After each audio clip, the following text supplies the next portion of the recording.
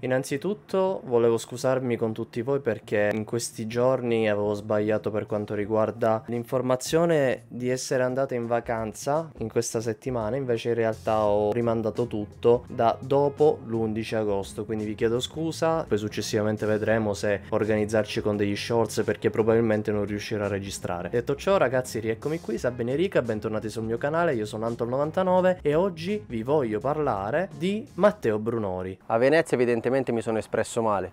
Il mio intento era far passare il messaggio che comunque ci vuole equilibrio, eh, sia quando le cose vanno bene e andranno bene, sia quando le cose vanno meno bene, di avere un equilibrio e di non esaltarsi nel momento di gioia e non deprimersi nel momento magari di delusione.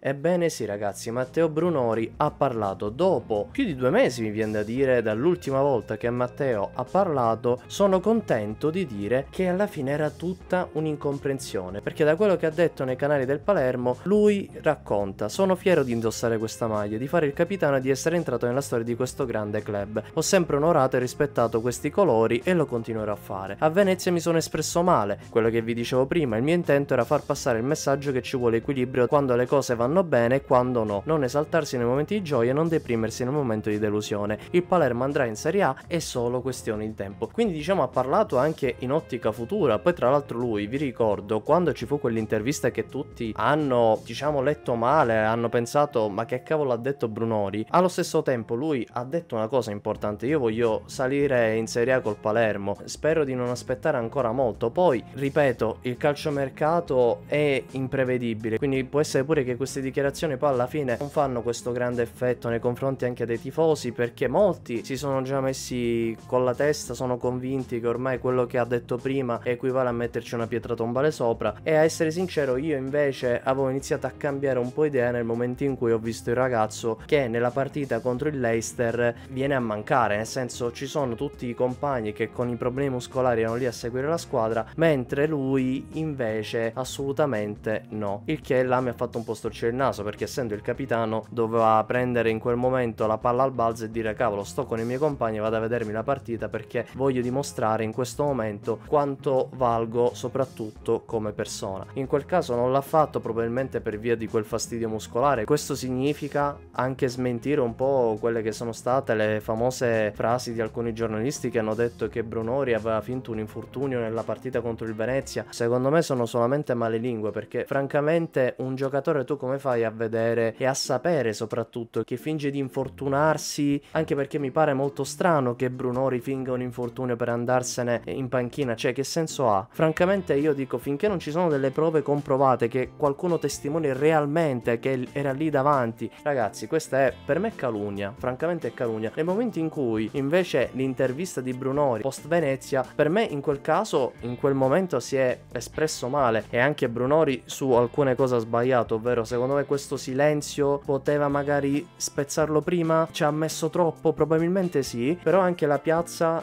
non dico tutti, perché per fortuna non tutti pensano che Brunori abbia fatto questa cosa appositamente apposta per offendere a qualcuno, tant'è che io personalmente non mi sento offeso dalle parole che disse lui post Venezia, ma bensì sono tutti coscienti che Brunori non abbia detto quelle parole contro la città di Palermo né contro i tifosi del Palermo. Mentre poi c'è una parte della gente che gli piace marciarci sopra. Francamente poi, poi per carità possono essere pure parole per stemperare un attimo gli animi, però intanto ha dato delle spiegazioni. Poi se quelle spiegazioni non convincono a tutti. Pazienza ragazzi, però è anche vero che noi è impossibile che alla prima incomprensione che sentiamo o vediamo magari qualcuno che diciamo ha il naso storto nel momento in cui c'è una sostituzione si pensa ah ma quindi lui vuole andare lì. No, semplicemente dobbiamo evitare di avere questi pensieri per la testa e poi eventualmente far chiarire al meglio Matteo Brunori. A quanto ho capito poi probabilmente andrà in conferenza stampa, non lo so, adesso se farà delle dichiarazioni dichiarazioni a freddo anche dare a tu per tu con eh, i giornalisti di Palermo. Detto ciò io sono del parere che Brunori si sia espresso male, l'ha detto e l'ha ribadito su questo comunicato, ha detto che comunque eh, da poco è diventato papà, per questo legame importante con Palermo l'abbiamo voluta far nascere qui proprio perché c'è un legame indissolubile. C'è da dire una cosa, lui ha parlato, quindi ora nel momento in cui va in campo è giusto che i tifosi vanno a sostenere il ragazzo. Poi se adesso vi fa antipatia, quello è un altro discorso, finché è un calciatore del Palermo, io lo sostengo. Come poteva essere qualsiasi altro calciatore a sbagliare con quelle dichiarazioni che ripeto, non è che ha detto alla tifoseria sono degli indegni, sono degli stronzi, non ha detto questo. È palese che ci è rimasto male perché l'ha detto anche nel comunicato, però è vera anche una cosa. Cerchiamo di migliorare anche noi stessi alle volte nel dire certe cose, soprattutto alcuni giornalisti, vi prego, non fatela apposta ogni volta con queste dichiarazioni dicendo "Ah, ma lui ha detto questo,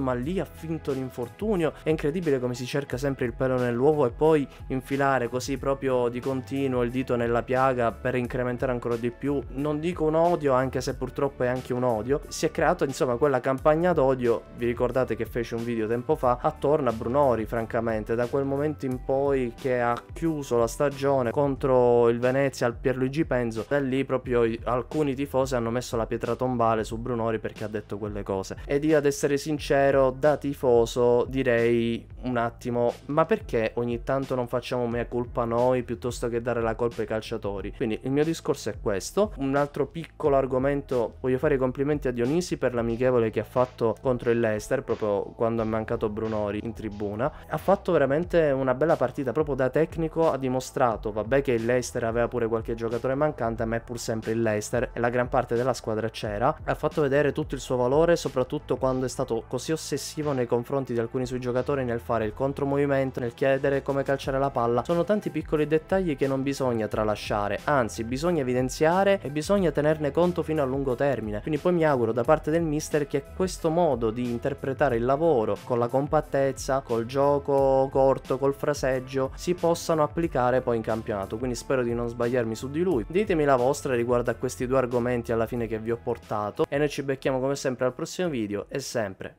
Forza Palermo!